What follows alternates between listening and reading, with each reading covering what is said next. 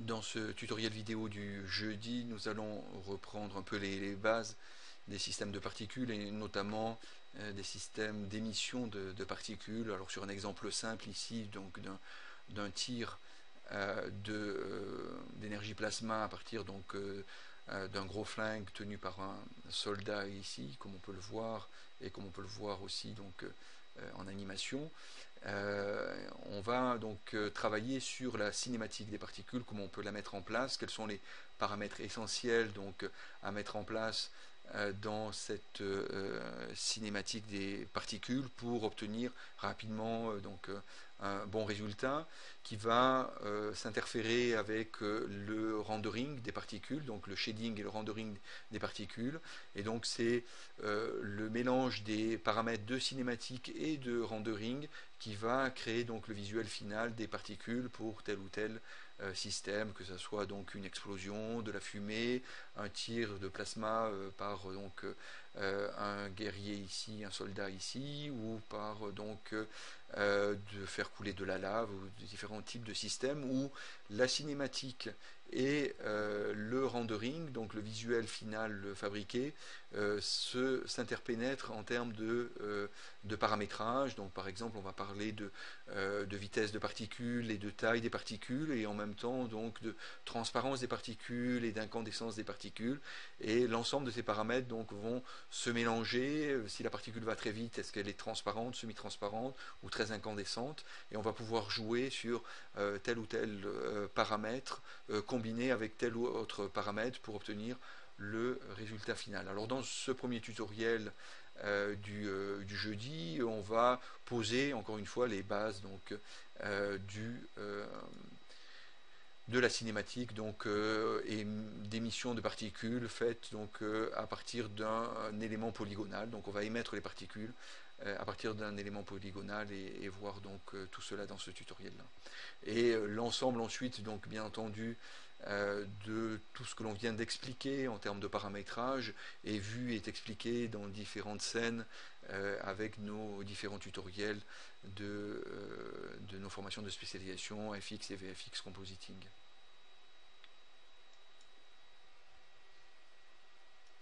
Dans ce tutoriel vidéo sur les systèmes de particules dans Maya, nous allons nous intéresser à la cinématique euh, des particules, comme on l'a euh, précisé, et notamment sur l'émission euh, ponctuelle surfacique de, des systèmes de particules, qui va ici simuler donc l'énergie plasma sortant du fusil du soldat que l'on a donc ici animé et que l'on revoit donc ici sous la forme donc euh, de euh, cette animation. Alors on va venir donc émettre à partir donc des embouts des, des trois orifices sortants ici du fusil, on va émettre donc des particules. Alors on va voir dans ce tutoriel le rapport entre la vitesse d'émission, euh, le système de particules, la durée de vie et euh, la cinématique des objets entraînant euh, les émetteurs de particules aussi. Donc ici on doit réaliser donc un système de, particules qui est donc un tir de type énergie, laser, plasma. donc c'est un tir rapide, donc c'est une énergie sortant rapidement et qui est quasi rectiligne, quel que soit le déplacement ensuite donc euh, de, euh, du fusil, euh, l'animation du fusil et notamment des embouts qui entraînent donc l'émission des particules. Donc on va devoir normalement créer une vitesse de particules relativement élevée pour maintenir donc un tir rectiligne des particules. Donc on va regarder tout ça. D'abord on va mettre dans un premier temps en place donc les systèmes de particules. Alors pour réaliser l'émission des particules, on, a créé de manière assez simple trois disques euh, que l'on est venu positionner donc euh, aux embouts euh, des sorties donc du fusil ici. Donc en fait on a pris un cylindre, on a enlevé toutes les faces sauf l'ensemble des faces du dessus ou en dessous que l'on a conservé qui forme donc ici un disque et que l'on vient donc positionner ici à l'entrée donc des trois canons. Donc on a trois comme ça qui nous permettent donc de pouvoir avoir donc ici voilà les trois avoir donc trois systèmes donc d'émission alors on va sélectionner donc ces trois éléments polygonaux, alors ça pourrait être des éléments NURBS, hein. on peut émettre avec euh, les systèmes de particules de Maya avec différents objets, que ce soit des polygones, des NURBS ou même euh, des curves. Donc ici on a trois euh, polygones, on les sélectionne tous les trois, ils sont séparés. Alors ils sont séparés dans leur détermination, c'est-à-dire ces trois polygones vraiment séparés, émetteur centre, droit et gauche comme on peut le voir ici dans l'outliner, et on va venir donc euh, dans euh, dans le menu Particle, Emit from Object ici, et on va donner un nom, émettre tir plasma. Euh, une vitesse, alors on va laisser une vitesse classique, je dirais de speed de 5 ici. speed random, on met rien pour l'instant. Tangente speed, eh bien, on n'aura pas de, de, particules qui partiront sur le côté, elles vont partir toutes en normal speed avec une valeur de 1, ça veut dire euh, normal par rapport à la normale des faces dans la direction donc de la normale des faces. Ça veut dire perpendiculaire à la surface ici du disque. Euh, c'est ce que l'on recherche ici. Si on veut avoir un, tir euh, de, de, plasma, d'énergie plasma, donc qui va un peu partir en éventail, eh bien on pourra ici rentrer donc un speed random d'abord, ça on pourra toujours le faire, mais aussi un tangent speed, donc une valeur ici euh, qui permettra donc euh, d'avoir des particules qui partent légèrement sur le côté. Donc on mettra une valeur relativement faible ici, par exemple 0,1, euh, voire 0,05 ou des valeurs un peu faibles. Ok, donc pour l'instant on laisse ces valeurs-là. Le rate ici on le laisse à 200, ce qui est relativement faible et on va voir pourquoi par rapport à, la vitesse qu'on va augmenter. Mais on laisse les valeurs quasi par défaut ici qu'on retrouve quand on crée un système de particules dans Maya. Donc je fais create ici. Donc je vois que j'ai trois points qui apparaissent, c'est trois euh, émetteurs euh, de particules qui sont maintenant donc euh, liés en parent-enfant au polygone, donc émetteur centre, tir plasma 3, émetteur 3, tir plasma 2, émetteur gauche, émetteur tir plasma 1.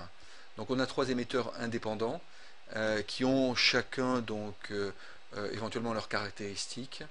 Euh, et donc on va pouvoir avoir éventuellement euh, trois façons de euh, d'émettre donc de l'énergie plasma par exemple du fusil. On peut très bien imaginer par exemple que au centre on ait une énergie plus pointue, plus directe, et puis sur les côtés, droite et gauche, plus diffus par exemple, pourquoi pas. et donc on, pourra à ce moment-là avoir des variations, effectivement c'est ça qui est intéressant dans l'émission.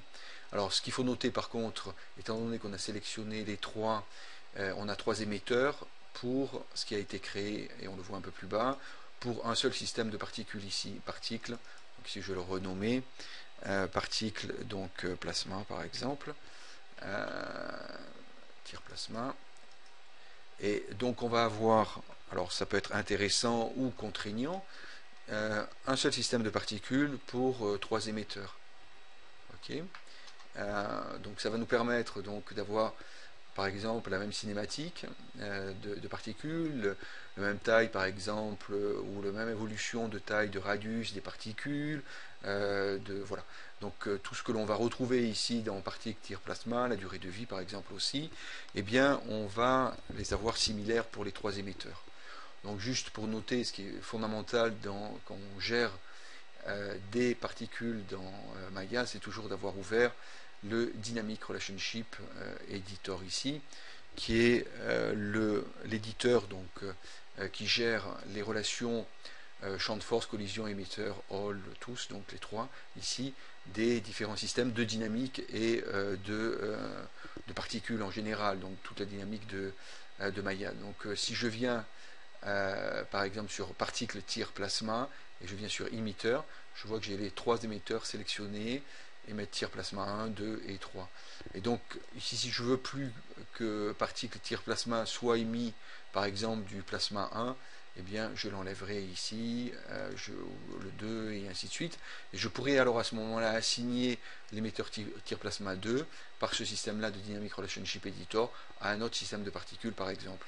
c'est tout à fait possible. Et à ce moment-là, on aura donc deux systèmes de particules, particules tir plasma 1 et 2, pour deux fonctionnements différents. Donc à la sortie du fusil du guerrier ici. donc pour l'instant on va rester avec un système de particules, trois émetteurs. On va s'intéresser à un seul émetteur d'abord et on verra qu'on peut transférer bien sûr les informations euh, que l'on aura donc euh, les, attributs exactement que l'on aura donc modifiés pour un émetteur, les porter donc sur les autres émetteurs.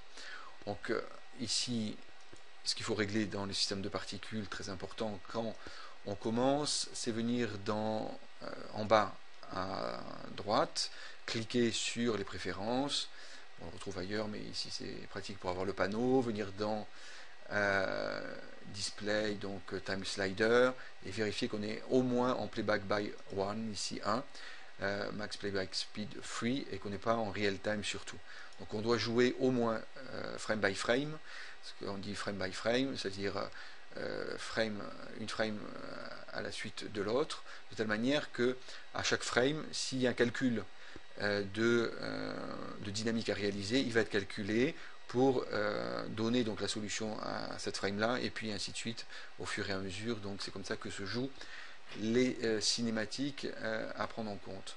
Donc je dis au moins donc ici 1 si ce n'est une valeur plus faible donc interframe si on veut faire de l'oversampling du temps pour avoir donc une meilleure définition des systèmes de particules donc pour l'instant on laisse 1 on restera donc avec cette valeur là pour l'instant et on verra dans notre tutoriel quelles sont donc euh, euh, les conditions pour oversampler le, temps euh, dans des conditions un peu spéciales. Ok, donc ici on a on, a donc positionné nos émetteurs. On note bien entendu que ces émetteurs ont été reliés en parent-enfant au waypoint ici qui est l'arme, qui elle-même est reliée au right hand ici du, du guerrier, ce qui fait que euh, si euh, le guerrier donc euh, se met à bouger, il entraîne bien sûr l'arme et l'arme elle-même entraîne donc les embouts qui entraînent les émetteurs de particules. Et donc tout ça est synchronisé dans l'animation que l'on voit ici. Donc le guerrier s'accroupit pour continuer son tir. Ici c'est ce que l'on va donc simuler. Ok. Donc revenons maintenant donc sur un des émetteurs. On va prendre euh, le tir plasma 1 ici pour régler.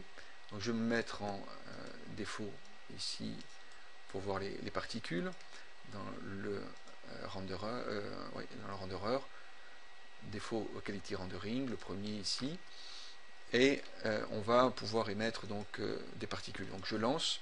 Alors on voit donc les, trois émettent des particules. Je vais m'intéresser encore une fois qu'au premier. Hein mais on voit qu'on a donc des petites particules qui sont émises ici. Donc par défaut, on a des particules de type point. Donc je viens euh, ici dans euh, le particle shape qui me permet de gérer donc la forme des particules et en particle render type, je suis en point ici. Donc on a différents types euh, de particules, des particules de type hardware, donc qui sont rendues avec la carte graphique en termes de rendu, et des particules de type software qui sont rendues donc avec les moteurs de rendu euh, de type donc euh, euh, software qui peuvent être donc Maya Software bien entendu, mais aussi Vere par exemple, ou Arnold ou d'autres types de, moteurs de rendu de type software. donc on peut utiliser donc les les particules de type point, c'est celles qui sont utilisées par défaut, utiliser le courant render type ici qui permet d'avoir la taille des particules principalement, donc je peux les grossir pour qu'on les voit mieux.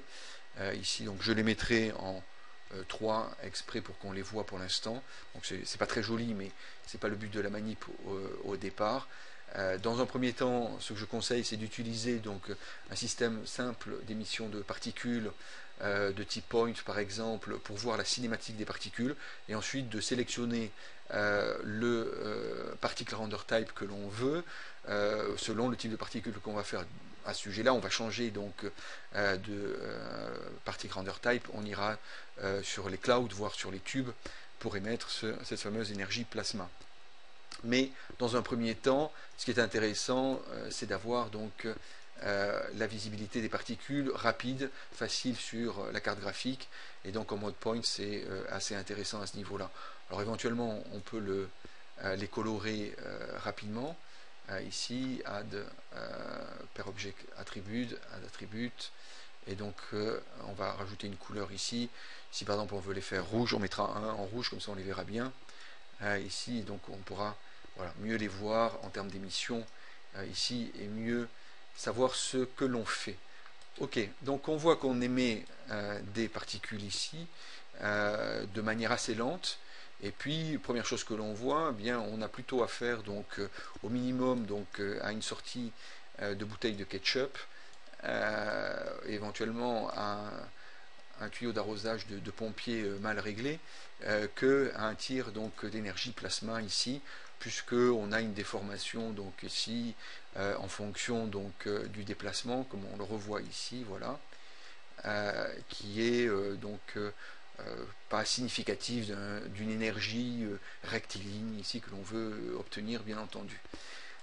Alors, un paramètre qui est important ici, sur lequel on pourrait dire que l'on vient régler pour éviter ce genre de problème, c'est ce qu'on appelle le paramètre euh, ici dans émission attribute inherit factor, donc qui est à zéro. Donc il n'y a pas euh, d'héritage donc euh, de l'énergie cinématique de l'émetteur qui est ici entraîné donc pour son émission. Ok, donc on voit voilà et donc euh, ici, euh, si on met 1, ben, ça sera pire en fait. Euh, voilà, donc ça sera pire. Ça sera effectivement le fait que l'inherit factor donc, est pris, prend en compte le déplacement de l'émetteur et retransmet donc cette cinématique de déplacement aux particules et donc elle part de plus en plus dans tous les sens ici à ce niveau-là. Donc ça c'est assez intéressant quand on a par exemple euh, des systèmes euh, d'échappement, euh, de, de pots d'échappement de, voitures ou, d'énergie derrière une fusée ou des choses comme ça, où on veut qu'on ait un petit déplacement, une vibration par rapport au déplacement donc, du système qui émet. Hein. Et donc l'inherit factor, on pourra le régler ici. Alors on voit bien que même avec 0, on a quand même ce petit problème là de,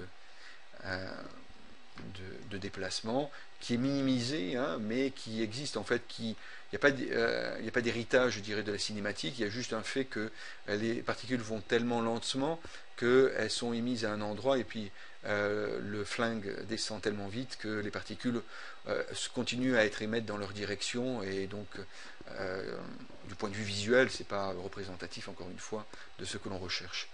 Ok.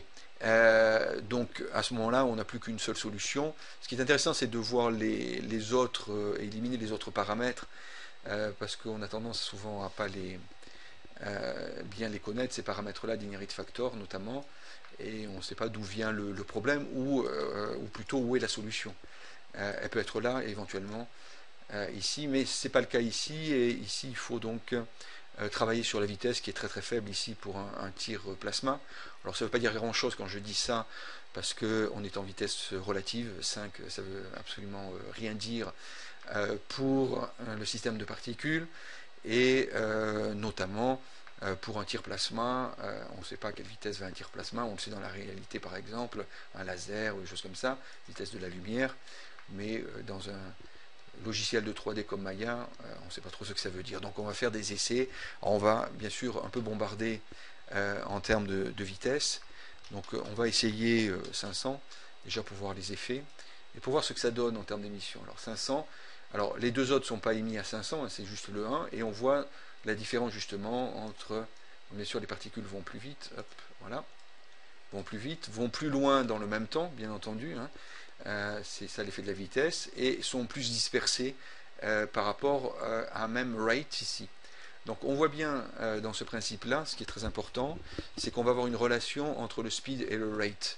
C'est-à-dire que si on veut garder une énergie plasma continue, alors si on veut ponctuellement avoir des, particules de type balle, je tire des, des, balles, donc à ce moment-là elles seront distantes, et on a réussi, je dirais, notre cinématique de tir de balle ici, puisqu'on voit que les éléments sont distants. On verra que pour avoir des, éléments bien distants, bien équilibrés, il faut finir de jouer sur le cycle émission ici, frame, on y reviendra dessus. Bon, mais ici, c'est pas ce qui nous intéresse. Donc, on a une problématique de rate, on n'a pas assez d'émissions pour avoir une continuité, mais on a une vitesse assez élevée qui est déjà un peu plus rectiligne. Alors, est-ce que c'est vraiment rectiligne? Pas tout à fait, ouais, on le voit au fond là. on a quand même une déviation des rayons, ça balaye. Là, on est plutôt dans le, euh, jet d'eau du, pompier donc, euh, qui essaie d'éteindre l'incendie. Donc c'est bon à souvenir si on a ce type de simulation à faire. Hein. Euh, on, a, on a un peu ce, système-là, avec un rate bien sûr bien plus élevé. Donc je multiplie par 10 à 2000, je maintiens les autres paramètres et voilà. Donc là, j'ai effectivement une émission. On voit quand le, flingue se stabilise, eh bien, le tir se stabilise bien entendu. Hein. On, on, redevient rectiligne mais on a quand même donc quelque chose euh, qui part un peu comme ça de, travers. Alors on peut encore augmenter la vitesse, ce qui donnera donc un système donc euh, plus euh, puissant, voire le multiplier par 10 la vitesse. Hein, donc là on a quelque chose, on a une impression véritablement de vitesse. Le rate à ce moment-là doit être bien sûr augmenté, multiplié par 10 encore. je fais ça progressivement pour que vous voyez bien donc l'évolution des paramètres parce que c'est fondamental si j'avais donné les paramètres directement en vous disant c'est cela les bons, euh, vous n'auriez pas bien vu l'évolution donc euh, de, ces paramètres euh, avec les différentes possibilités comme le canon à eau du pompier, le ketchup qui sort de, la bouteille et ainsi de suite. Ok, donc ici on a un peu plus un tir de, de plasma. Alors on peut rester avec cette vitesse là parce que qu'est-ce qu'on voit? On voit qu'en fait on a encore un peu de déviation. Bon, ce qui est important c'est de voir au début je reviens dessus. Si on a donc euh, une sur la première partie, si on a donc une, déviation, on en a un peu mais pas beaucoup, donc on pourrait augmenter encore un peu la vitesse, 8000.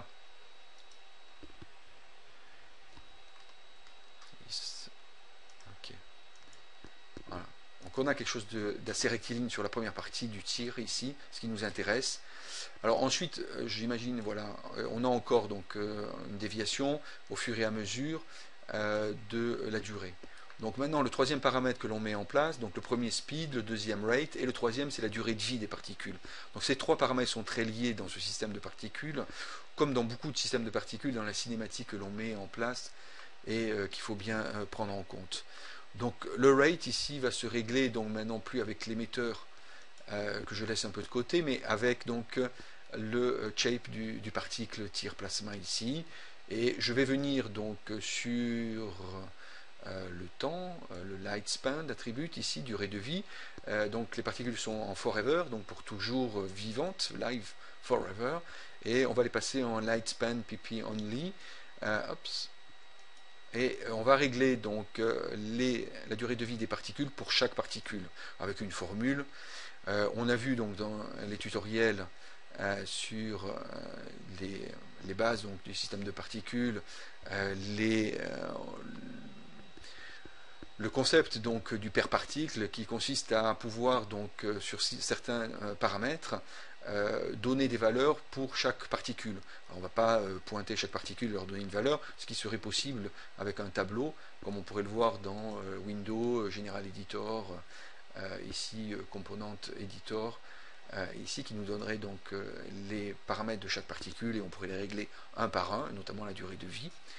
ici, on va plutôt rentrer une formule, ça sera quand même plus simple. On fait bouton droit de la souris, lightspan pp, création particule, et on vient donc récupérer cette variable-là dans l'expression CTRL-C, CTRL-V, et je la récupère ici en bas. Donc elle est ici dans Select Object and Attribute, CTRL C ici et CTRL V en bas. Et je peux écrire une expression. Alors j'ai une formule qu'on a déjà vue euh, sur euh, les, euh, les, tutoriels de base des, particules. On peut utiliser une formule random, round, avec donc une durée de vie des particules. Donc ici on va mettre une durée de vie relativement faible. 0,05,01 donc on encadre le random euh, on va distribuer donc à la naissance, ici je suis en mode expression création, la création est cliquée ici. Donc à la création, on va assigner donc une durée de vie lightspan pp qui est compris entre 0,05 et 0,1 en secondes. Ici c'est exprimé en secondes, Donc on part sur l'idée de 25 images secondes ou 24 images secondes et on peut avoir une idée euh, de la durée. Ça dure 2 frames, une frame ici et je fais create. Je clique sur create, donc l'expression est prise en compte puisque j'ai un résultat ici euh, positif. Euh, j'ai pas de warning en rouge et donc je repars, je relance et donc j'ai à ce moment-là un tir de plasma qui va s'arrêter à un moment donné. on va le voir. Voilà. Euh, qui est donc plus ou moins euh, long, donc voilà, ok, et que je peux donc pour éviter les petits effets encore de, bord, que je peux donc euh, limiter ici random 002 et ici 0,05 par exemple pour encore plus limiter. Il faut relancer l'animation puisque le paramètre que je viens de modifier est à la création. Donc il faut que je rebobine entre guillemets le temps et que je relance mes particules. Voilà, pour, Et donc j'ai encore un petit effet ici. Je pourrais encore éventuellement limiter ou éventuellement donc euh, accélérer le temps. Donc je reviens sur l'émetteur ici, 8000, 10 000. Ok. Ok. Bien sûr. Tir plasma.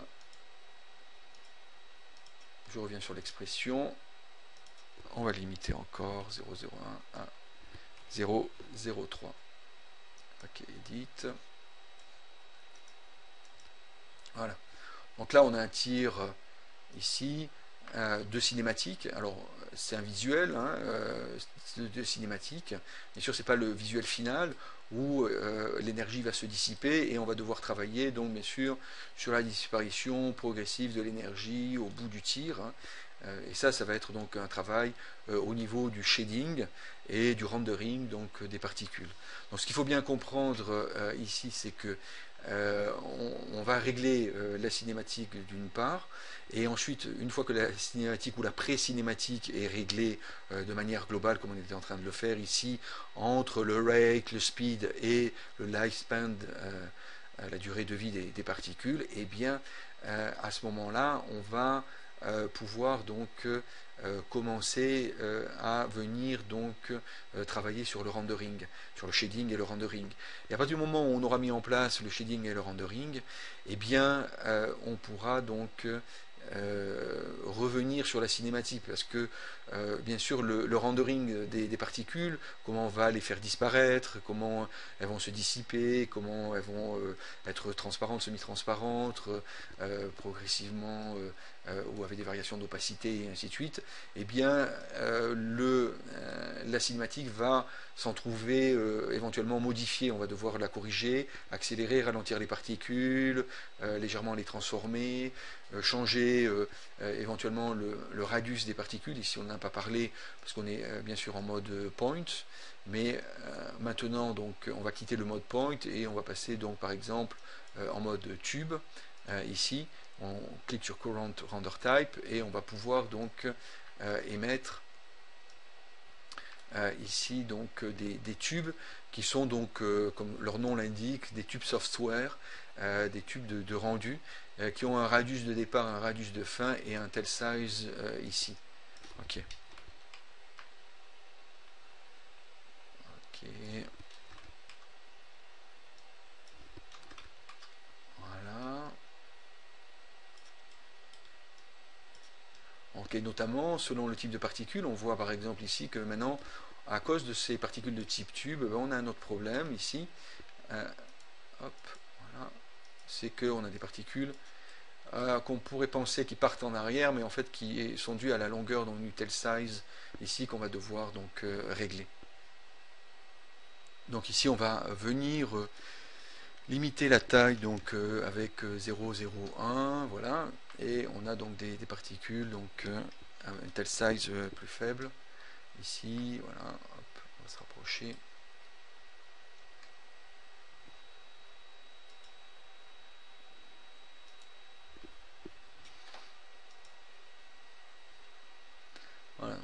particules ici. Ok.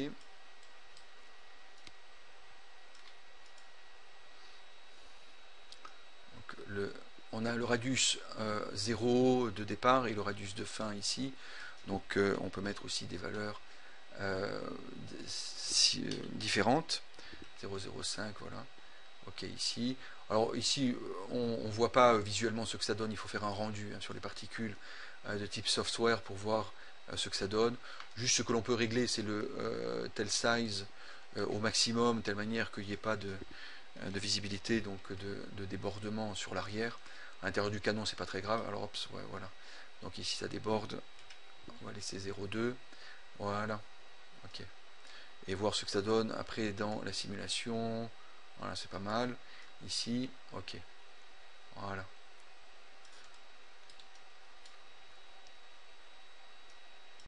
Les paramètres de cinématique étant euh, maintenant euh, mis en place, euh, on va regarder donc un peu le, rendu pour venir équilibrer, puis on s'arrêtera là pour ce premier tutoriel qui nous a montré que les paramètres de cinématique premiers, je dirais de base, sont très importants pour obtenir donc rapidement le résultat recherché.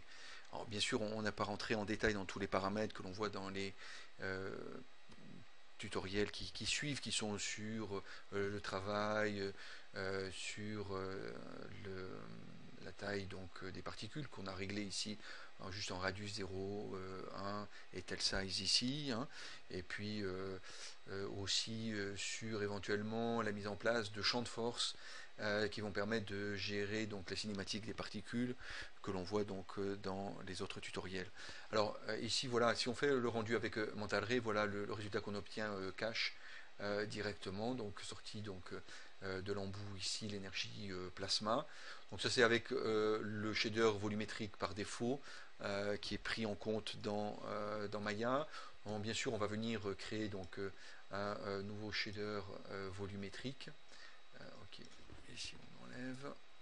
Euh, donc un, particle cloud euh, ici qui est bleu par défaut, c'est pour ça qu'on le retrouve ici, on sélectionne donc nos particules, euh, on assigne le particle cloud 2, voilà, et on va venir donc sur les paramètres, alors rapidement vu donc au niveau coloration, ben, on va partir sur du rouge, du rouge ici orangé,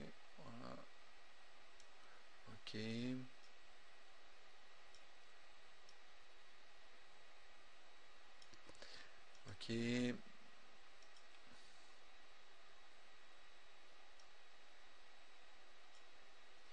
Voilà, transparence, on va la laisser telle quelle. Incandescence, on va mettre un peu la, même valeur que le canal color. Euh, la densité, blood map, rawness ici. Tous ces paramètres-là, euh, on les verra euh, en détail. On va lancer donc ici euh, le rendu. Ici donc on va avoir un, rayon donc euh, ici euh, plasma rouge hein, que l'on voit donc apparaître. Et on voit qu'on grâce au, système donc de tubes on a des, variations donc dans le, flux énergétique qui est assez intéressant ici dans le flux énergétique euh, grâce justement à ces tubes euh, qui vont se déplacer euh, de manière différente, qui vont avoir une durée de vie différente. on peut jouer aussi, quand je dis se déplacer de manière différente, on peut aussi donc revenir sur l'émetteur ici. On a deux façons à l'émission de, mettre de la valeur aléatoire, je dirais, dans le déplacement. C'est dans le speed random ici. Donc euh, proportionnellement donc, euh, au speed existant qui est quand même de 10 000, euh, ici il faudra au moins en speed random mettre une valeur de, de 3000 par exemple, peut-être de 2000, voilà ici, de telle manière d'avoir des variations de, de vitesse de particules ici. ok voilà, ce qui ne change rien donc après à la durée de vie, mais qui va permettre donc d'avoir des flux euh, un peu différents en termes de densité. On le voit euh, euh, sur les, particules ici. Hein. on a des, zones qui sont plus denses que, ou moins denses que d'autres. Hein. Et puis on a un min et max distance ici par rapport à la normale de, des faces. Et par exemple, on peut faire un léger décalage sur la surface d'émission, ce qui est assez intéressant pour créer encore un décalage au moment de l'émission. Si on a un plan, ce qui est à peu près le cas ici, un plan assez proche au niveau de l'émission, alors comme le, ici on n'a pas trop besoin parce que euh, l'émetteur est rentré un peu dans l'intérieur du canon, donc euh, on ne voit pas véritablement le début de l'émission, donc euh, on n'a pas trop besoin de ça, mais éventuellement on pourrait le faire ici en mettant un max distance. Donc là ça dépend de, l'espace, hein, il faut le mesurer, mais on rentrerait une valeur de 4 ou 5 ici, donc permettrait d'avoir un, petit décalage ici. Donc on a parlé du tangent de speed, hein. alors je le mets juste en place pour vous montrer juste ce que ça donne, mais voilà. Donc là, euh, à 0,3, voilà ce que ça donne. Ça part dans tous les sens. Euh, donc ça, peut être intéressant hein, euh, le flingue du, guerrier, du soldat se, dérègle. Donc il faudra vraiment rentrer une valeur relativement faible, 0,01, quelque chose comme ça, pour voilà, avoir un flux à peu près continu, mais qui est légèrement décalé. Hein. Donc, alors, il faut voir aussi qu'il sera pas mal décalé par rapport aussi à, la zone d'émission, hein, ce qui va donner quelque chose de pas très réaliste. On fait quand même un rendu euh, par rapport au départ de l'émission. Donc euh, si on veut un flux qui, se, qui part un peu en, éventail ensuite, euh, on utilisera plutôt donc une émission directionnelle avec un spread, ça c'est pour la partie émission. J'étais trop... Ma caméra a bougé.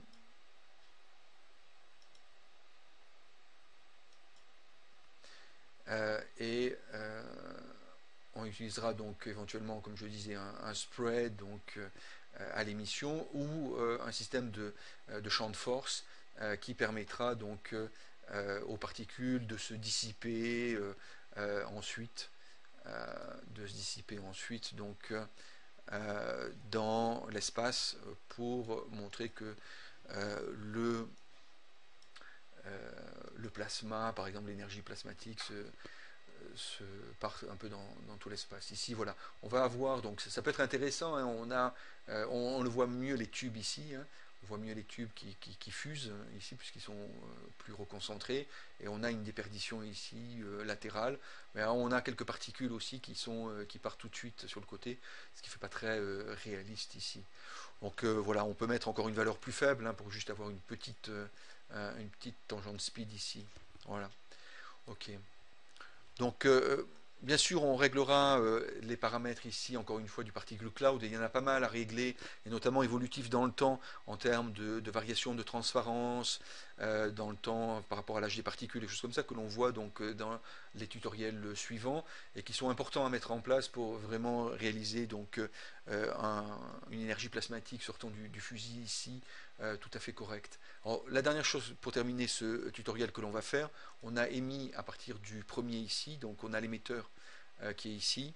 Ça nous permet de revoir une fonctionnalité de, Maya très intéressante, euh, qui est de euh, la possibilité de sauvegarder les presets, quel que soit l'objet et les presets, en venant ici dans Preset, donc dans Emmet tir plasma 1 où j'ai fait varier mes presets, rate, rate pardon, speed, éventuellement max distance et speed random, euh, voilà, tous ces paramètres-là, et, euh, tangent speed, et je viens dans preset, save point emitter preset, et j'appelle ça tir plasma euh, de base. Voilà. Ok, save attribute. Et donc, je vais pouvoir maintenant euh, copier ces attributs ici qui sont dans le preset, ces valeurs-là dans les autres, pour autant que ce soit les mêmes systèmes qui soient utilisés. Donc, un émetteur euh, par objet ici, où on, retrouve un peu les mêmes caractéristiques. On retrouve surtout les mêmes caractéristiques. En preset, plasma, replace. Alors je peux remplacer à 50%, donc il y aura une majoration, euh, une pondération entre les valeurs existantes et les valeurs sur lesquelles je veux mettre à 50%, 75, 90 et ainsi de suite.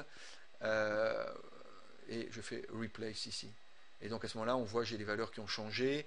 Et pour le dernier ici, je fais la même chose, le troisième. Euh, émetteur plasma de base replace. Ok.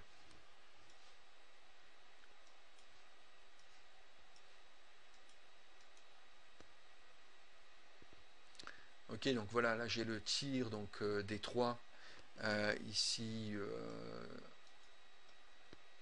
canon du flingue du guerrier ici, qui vont nous donner donc trois tirs de, plasma plus ou moins rectilignes.